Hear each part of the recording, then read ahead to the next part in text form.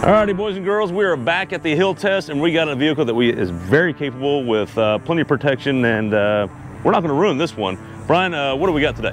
What do you by ruining? Never mind. We've got the 2023 Chevy Silverado 1500 Bison Edition from AEV. That's what this is not a Rhino, it's not a Buffalo, it's a Bison. And what does the Bison give you, Craig? A bunch of protection. So let's start with the ZR2 bits. You get a 6.2 liter V8 or the 3 liter Duramax, baby Duramax.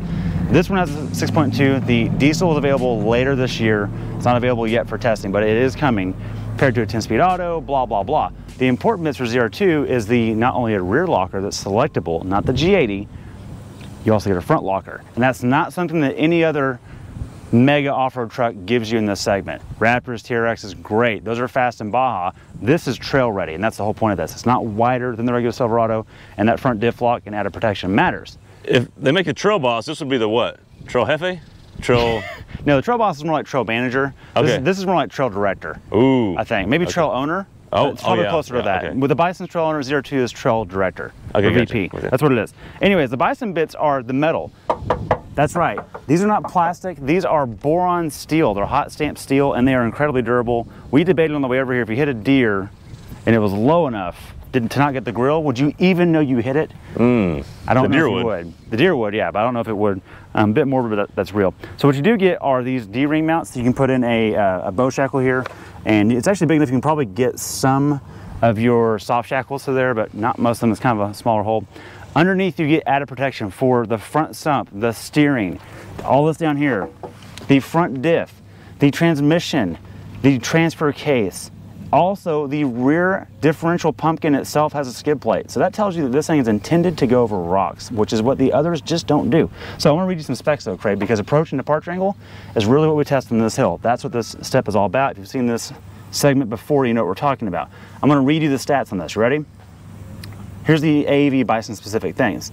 The approach angle is improved from what was 31.8 to 32.5. It's pretty good. It's already pretty good. Let's be honest. That is an improvement. But man, that original one's pretty good too. I'm really happy with that. That's something the AT4X does not give you, or did not give you at least the last one we tested, did not have that kind of approach angle. This is really, really good on that. Um, departure angle, let's go check out the rear bumper for that. Oh, one more thing I want to point out. You get a step in the front. Not quite sure why you would need a step in the front, but if you know or have opinions, comment below. Why do you think you need a step in the front of a truck? I'm curious. Can't be because you have to work on a Chevy engine. No, no, no, no, no. Get, well, I don't. What do you think? Let us know. All right, coming down here, you also get rock rails, and this is a bit controversial. These are not frame mounted; they are body mounted. But AEV is not known for doing things half or uh, not all the way. I've got a feeling these are perfectly sturdy for rock use. They are actually really strong. I've stepped on them; they don't flex at all. They're really, really durable. So that's something to know. Let's check out the rear bumper. All right, coming out back, the most important thing you get in any off-road package is a bedside flag. Without that sticker, these skid plates don't mean a damn thing. Do you even have the package without that? Do you even have it? Can't, if you can't tell anyone, do you even have it? Right, okay. Rear bumper. This thing is just like the front, except you lose the step that the regular Silverado has to get in the bed. Hmm. But you maintain your radar sensors and that kind of stuff, and you get a little bison on the back here. That guy's cute. He's, um, I shouldn't say cute about a truck. I think he's ready to take on terrain. That's what that means. Same. Well, they did a good job though. Like that, you shouldn't. A lot of things you back into it and damage that. That's protected pretty well. It is, yeah. Well, and damage also it's well integrated, right? So if you went and tried to make this truck on your own, on it from a catalog from four wheel parts, it's not going to be this cohesive. This whole thing feels just cohesive and buttoned down. Um, those skid plates that we talked about a minute ago, those aren't nothing. They are three millimeters thick and five press hardened. I don't know what that means, but that sounds really durable. Like they're not messing around with this. Now rear departure angle, I gotta pull stats again on that because I can't remember all the numbers. The rear departure angle was 23.3. Any guess what the new one is? 23. Four. Four. That's exactly what it is. kind of silly, but they are bragging on that. Another thing you get is the dual exhaust. These turn downs look like an old Mopar to me. I think that's really cool. I do wish it was a little bit louder, but none of that matters. What powers this whole thing? 6.2 liters of America. Let's get to it. We'll be fast because our battery's down low. Here's the reality. This is a pushrod V8. It lacks personality, but is robust with torque everywhere. And I love that you can get a truck today that isn't full of turbos or hybrid components or things that can heat soak. This is just reliable. It never stops giving you things. You never feel it pulling timing while you're using it. I love that. Really, really like it. 460 horsepower, sorry, 420 horsepower, 460 torque. And that torque is up there with EcoBoost. That's really impressive. Now, interior. All right, Brian's getting the truck started and he's gonna talk about all the goodies we have to get us up and over the hill because modern trucks, we get a lot of goodies. Brian, what are some of those goodies we get to play with? Okay, look, we've got drive modes on this one, and they're actually really simple. You can turn your knob left or right, and it is, there's terrain. You gotta be in four high for that. There is off-road, and there is normal. Off-road adjusts your throttle mapping and your transmission shift points. Terrain gives you one pedal drive, which that's kind of a neat thing you can use going over obstacles. Also, you get more important than anything else is you get a full traction off function. You can press and hold that. I wish more cars had that. Hill descent, which crossovers have now, that doesn't really matter. Rear locker, which you can't get in a normal Silverado. That's really frustrating. I wish you could, but this one gives you the ability to just select it and lock it. That's nice. But on top of that, you can lock the front, which none of its competitors can do. And right, Brian, so what is our plan uh, initially approaching the the main line? We're gonna do the main line in this bad boy. Yeah. We got approaches, we got protection. Look, even if it scrapes, I'm not gonna worry about it. Yeah. It's gonna be fine. So we're gonna start with two-wheel drive We're gonna do two high. and anything else. I'm gonna turn traction control off because I don't want it to have any help No help at all. at all. And I'm gonna press and hold to keep it off.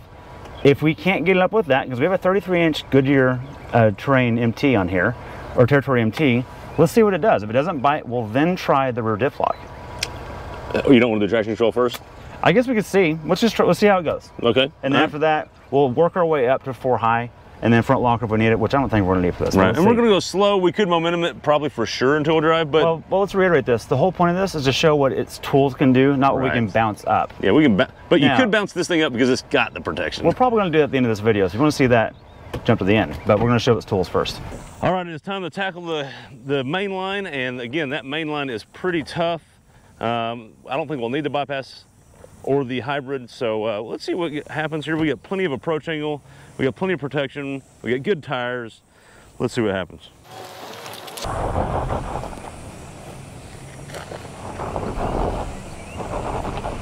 You're losing traction, but we're already actually getting some good grip with the tires. Able to modulate the throttle well. See if we can. And this is where we run into trouble. At approach, you start getting a little bit of a step. Oh, yeah, got to it. Okay, we have gotten to the obstacle. Okay, we have gotten to the obstacle.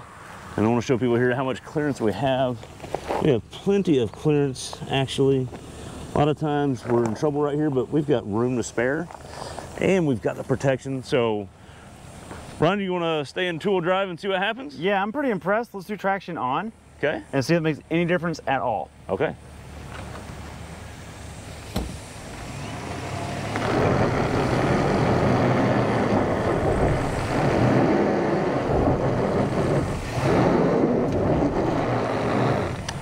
Okay, so hang on, let me come in there without falling. Good luck. All right, got it.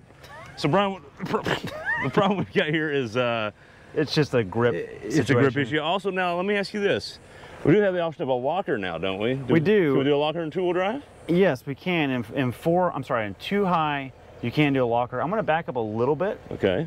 And try to do, again, I target two miles an hour on these, on these obstacles. On every vehicle, it'll vary a little bit, but that's the goal. Okay. And let's see if that makes any difference. I've got a feeling we're going to need the front drive to just lift the nose. Yeah, I think so too. If we hit it with some speed, it'll bounce up, but that's not what we're testing at this moment. Yeah, we're So, not we're not trying to momentum. We just want to Right. slowly get up it. So see what see the locker does. Okay. um, All right. So like you said, we're gonna try the locker. We'll back up a little bit so we can reapproach, not be stuck in the same rut. Um, but he's not gonna momentum it. So the rear's locked.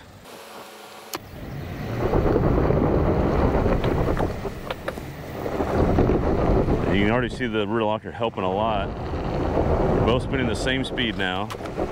That's got him to the obstacle. But we're just gonna run out of grip. Okay, all right. okay. So, as expected, Ryan, I'll get down here again without falling. All right, so kind of as expected, it's just too much of an obstacle to push Yeah. over without more momentum. Right. So, what are we gonna do now? Show the people uh, what modes you got. And what we're gonna So I think what we could try, actually, I don't think it'll make a difference at all. Honestly, four auto is the next minimal option we Good can point. do um, with the diff unlocked. Okay, good point. And so, what that does is we have the front wheels helping, but we don't have a, even a center diff lock at that point. It's not locked. It's it's being feathered um, based on traction need. but it might be enough.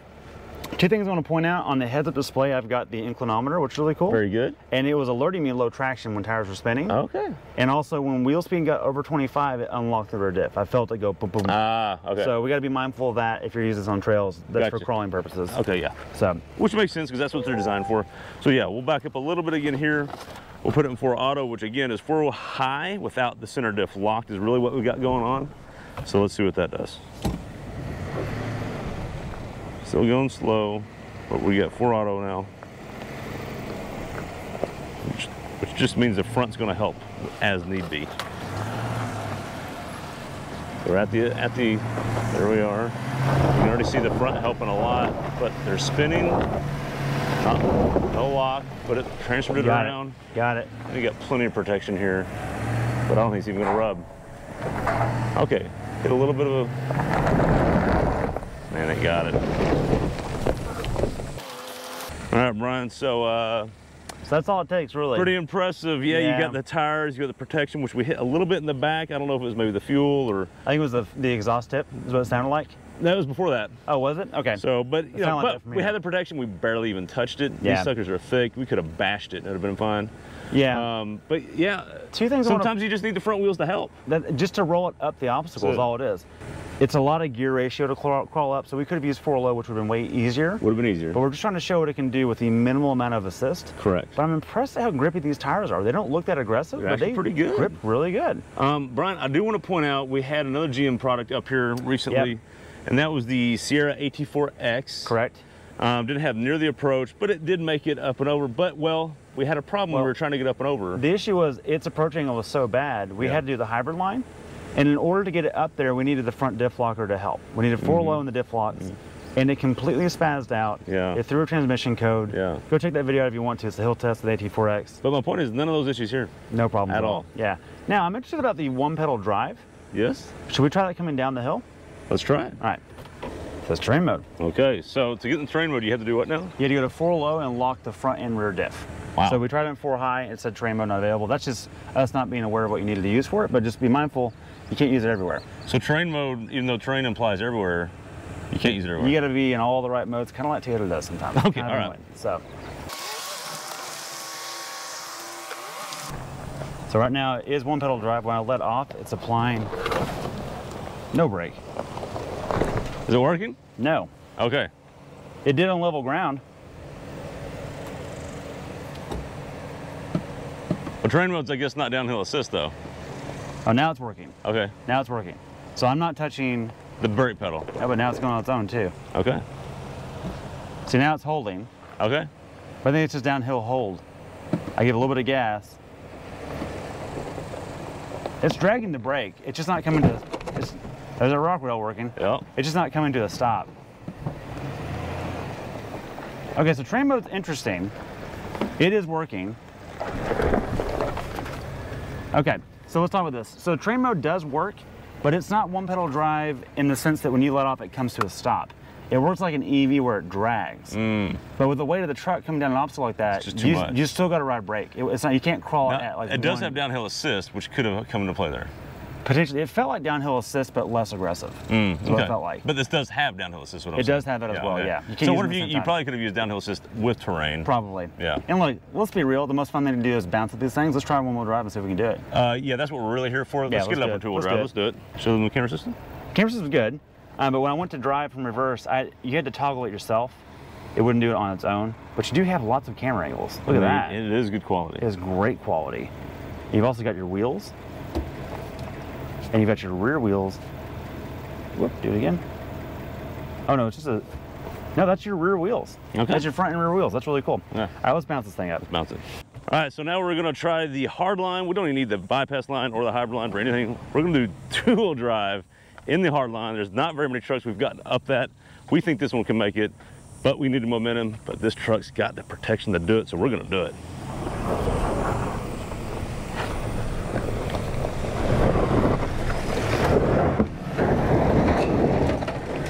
Come on.